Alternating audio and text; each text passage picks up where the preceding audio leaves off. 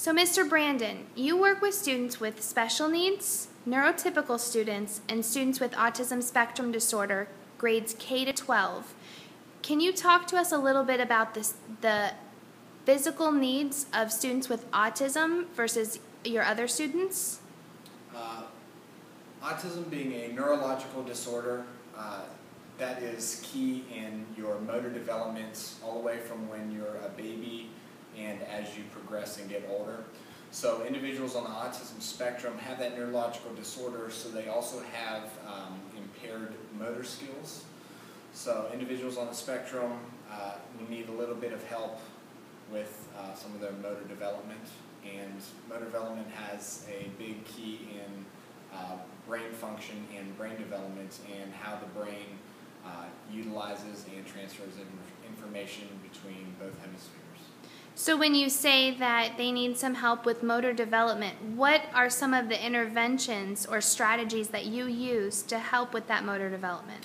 Uh, we do a lot of crossing the midline. So, if you draw a line down the center of your body and separated between a left and a right side, uh, that involves uh, right side of the brain, left side of the brain. So, midline crossing activities will take uh, a body part from the right side of your body and use it to cross over to the left side of the body, crossing the midline. Uh, that forces the brain to utilize information from both the left and the right hemispheres. And the more efficient they can become in utilizing information between the left and right hemispheres, the more they can conquer their midline issues, which will relate to other disorders such as dyslexia and memory retention and being able to uh, regurgitate information from their memory stores in the right brain. What are some other things that you see as a need for students with autism versus other students?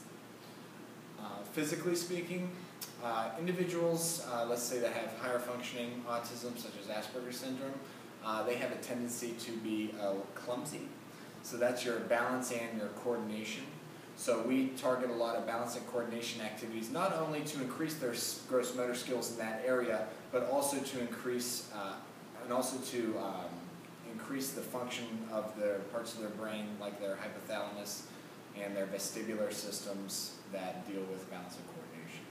And what are some things that a teacher can use in his or her classroom to help with these needs?